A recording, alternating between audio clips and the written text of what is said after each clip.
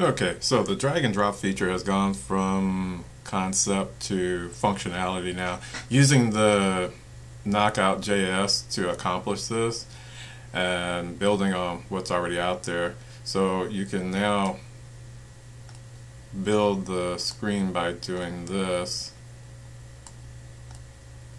and okay of course you can rearrange your after you get them where you want them. And I'm just going to drag in one more just for grace.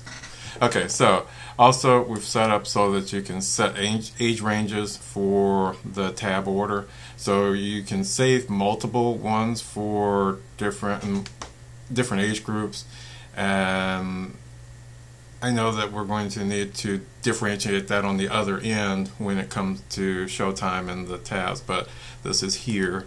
Um, and oh, also, of course, you're going to select your category that, so I'm going to say, I'm just going to pick one at random.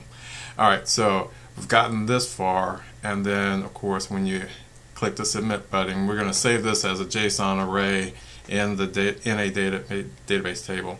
So as you can see, here we go. We have our information that was arranged and it's in the order that we have. And so the first one being the calendar category here and the other titles that were put in their order and then the age group at the end.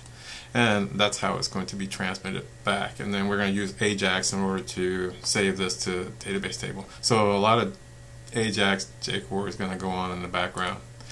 Thank you much.